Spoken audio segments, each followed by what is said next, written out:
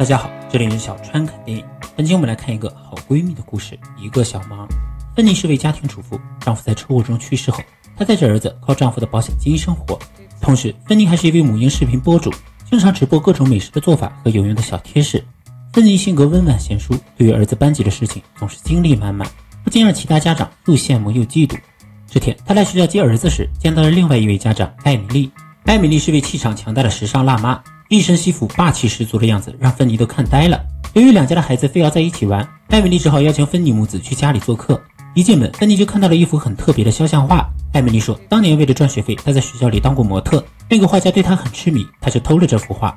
本来以为有一天会升值的，可惜那位画家没有成名。艾米丽是时尚公司的公关部长，开着豪车，住着豪宅。芬妮非常羡慕这种生活，更加让她羡慕的是，艾米丽还有一个温柔的作家丈夫。但艾米丽却表示，她的生活并不像表面那么光鲜亮丽。她的丈夫已经十年没有出过书了，现任大学教授工资不高，却花钱如流水，所以她不得不拼命工作，也因此常常照顾不到孩子。芬妮一听，当即表示，平时她可以帮艾米丽带带孩子。就这样，性格完全不同的两个人，因为孩子渐渐熟络起来，后来更是成为了无话不谈的好闺蜜。自信霸道的艾米丽常常怀疑傻白甜的芬妮到底是怎么生存下来的。芬妮却表示，每个人都有黑暗面，只是有人更擅长隐藏自己而已。几杯酒下肚，两个人决定交换秘密，说出各自做过的最疯狂的事情。艾米丽说，她和丈夫还有丈夫的助教一起玩过游戏。本来以为这个秘密会让芬妮震惊，谁料芬妮的秘密更加劲爆。芬妮在爸爸的葬礼结束后，和同父异母的哥哥产生了感情。也正是因为如此，才造成了丈夫和哥哥出车祸死亡的惨剧。交换秘密后，艾米丽和芬妮的关系更加亲密了。不久后的一天，艾米丽打来电话，请芬妮帮一个小忙。由于丈夫回了伦敦看望摔伤的母亲，而她又有工作要忙，所以想请芬妮帮忙接下儿子。芬妮欣然答应。可是，一连两天过去了，芬妮却怎么都联系不到艾米丽。无奈之下，芬妮只好联系了艾米丽的丈夫肖恩。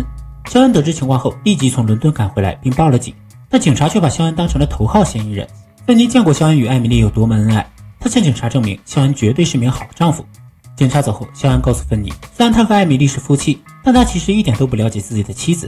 艾米丽非常看重个人隐私。有一次，肖恩在脸书上发了一家家庭合照，艾米丽就注销了他的脸书账号。这方面，芬妮深有体会。有次，他给艾米丽拍了一张照片，结果艾米丽瞬间变脸，要求芬妮删掉照片。已经过去四天了，仍然没有艾米丽的消息。芬妮便在直播中讲述了艾米丽失踪的事情，希望借助粉丝力量寻找艾米丽的下落。之后，芬妮又来到艾米丽上班的公司打探情况。可他发现公司里根本没人去关心艾米丽的失踪，于是他悄悄溜进艾米丽的办公室寻找线索。芬妮在办公桌上找到一张艾米丽的照片，不过照片中的艾米丽精神颓废，甚至略显惊悚，与芬妮所认识的艾米丽判若两人。接着，芬妮拿着艾米丽这仅有的照片，肖恩一起到处张贴寻人启事。这边警方查到艾米丽在机场租了一辆白色轿车，艾米丽用现金付的款，可见她不想让人发现她的行踪。芬妮把车辆信息直播了出去。群众的力量是强大的，很快就有粉丝提供了线索，艾米丽可能在密歇根州。警方根据线索在密歇根州找到了这辆车，并在湖底打捞出了艾米丽的尸体。肖恩去现场认了尸，痛不欲生。由于艾米丽生前没有亲人，芬妮便帮助肖恩给艾米丽举行了葬礼。面对艾米丽的突然离世，芬妮和肖恩是最伤心的人，他们相互安慰对方，却情不自禁安慰到了床上。芬妮和肖恩有了亲密关系后，竟产生了取代艾米丽的想法。他把那幅特别的肖像画摘了下来，还试穿了艾米丽的礼服。这时，警探过来送艾米丽的尸检报告。报告显示，艾米丽不但酗酒，还是个瘾君子，手臂和脚趾之间布满了针孔。芬妮知道艾米丽酗酒，但不知道她注射海洛因。警探还告诉芬妮，在艾米丽死前，肖恩给她买了四百万的人身保险。警探的暗示非常明显，但芬妮认为肖恩不可能是凶手。不过，警探的话还是让芬妮产生了怀疑。她在抽屉里找到了保险文件袋，但保单已经被拿走了。接着，更加诡异的事情发生了。艾米丽的儿子说他在学校外面见到了妈妈。肖恩认为是儿子太想念妈妈，认错了人。但儿子坚称他确实看到了妈妈。而芬妮也从孩子身上闻到了艾米丽的香水味，还看到了他送给艾米丽的友谊手链。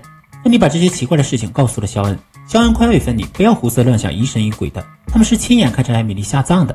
同时，肖恩也说出了对于艾米丽的不满和抱怨，并声称艾米丽就是个病态的骗子。当年他带着艾米丽回伦敦见父母，艾米丽却偷走了他母亲祖传的戒指。至于保险，也是艾米丽要求买的，因为她看到芬妮靠着丈夫的保险金生活，为了儿子的将来考虑，她就投保了巨额保险。肖恩表示，善解人意的芬妮让他获得了新生，他请求芬妮搬过来，开始全新的生活。在肖恩的甜言蜜语下，芬妮放下矜持和顾虑，准备成为新的女主人。她把艾米丽的衣服、鞋子全部清理了出去，然后开始搬家。可当她拿着自己的衣服来到衣帽间时，却发现艾米丽的衣服全部回归了原位。芬妮吓得不轻，甚至以为是艾米丽的鬼魂未散。接着，芬妮收到了一张照片，照片上写着芬妮睡了哥哥，而这个秘密只有艾米丽知道。正当芬妮心有余悸之时，又接到了艾米丽声称是从天堂打来的电话。看来艾米丽是真的没死。芬妮以为这一切是艾米丽和肖恩合伙搞的诡计，她去质问肖恩，肖恩却认为他精神出了问题。芬妮决定自己找出真相。她从那幅特别的肖像画的落款处知道了画家的名字。芬妮拿着画找到画家，从画家口中得知艾米丽的名字是假的。当初画家出钱供艾米丽上学，还帮她还了债。结果，艾米丽把画家的东西搜刮一空，然后杳无音信。画家把艾米丽留下的一件纪念 T 恤交给了芬妮，并警告芬妮，要是去打探艾米丽的过去，会发现很可怕的事。芬妮根据纪念 T 恤来到了斯库湖夏令营的营地。她从纪念相册中发现，艾米丽竟还有个双胞胎的姐妹。芬妮根据相册中的信息找到了艾米丽的母亲。老太太直言，她生下的双胞胎姐妹简直就是一对魔鬼。艾米丽十六岁的时候和姐姐纵火烧死了自己的父亲，事发后姐妹俩不知去向。此时，芬妮意识到，前段日子警方打捞出的尸体是艾米丽的姐姐，而艾米丽真正的意图是骗取巨额保险金。为了引艾米丽现身，芬妮在直播中暗示她已经知道艾米丽是双胞胎的事情，然后又把这一信息透露给了保险公司。艾米丽躲在小旅馆里看着芬妮的直播，非常气愤。芬妮登堂入室睡了她的丈夫就算了，现在还要缴还保险金的事。艾米丽终于忍无可忍，去见了肖恩。看到活生生的艾米丽站在眼前，肖恩震惊不已。果然，艾米丽将自己的丈夫都蒙在鼓里。艾米丽觉得芬妮缴黄了保险金的事，所以她要拖肖恩一起下水。肖恩本想破口大骂，但一看到黑洞洞的枪口，就立即认怂，说他和芬妮只有性没有感情，他最爱的只有艾米丽。艾米丽把肖恩的话录下来放给芬妮听，目的是挑拨肖恩和芬妮的关系。最后，艾米丽也讲述了整个事件的经过。十六岁正值青春叛逆的年龄，她和姐姐半夜偷跑出去与男孩子厮混，结果被爸爸当场抓住，狠狠地打了他们一顿。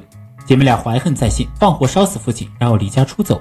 为了躲避警察追捕，艾米丽和姐姐分开逃跑，并约定了重聚的时间和地点。但艾米丽却再也没等到姐姐出现。后来，艾米丽来到纽约努力打拼，拥有了现在的生活。不久前，姐姐联系到了她。十四年没有消息的姐姐，如今颓废潦倒，还是个瘾君子。她找到艾米丽，张口就要一百万，否则她就去自首。艾米丽不能让姐姐毁了她的人生，于是趁在湖里游泳之时，把姐姐溺死在了湖里，然后以假乱真，顺便骗走保险金。本来天衣无缝的计划，却被芬妮破坏了。艾米丽提出，不如他们合作，让肖恩来背锅。芬妮想到肖恩一直在玩弄自己的感情，为了报复，便答应了艾米丽的提议。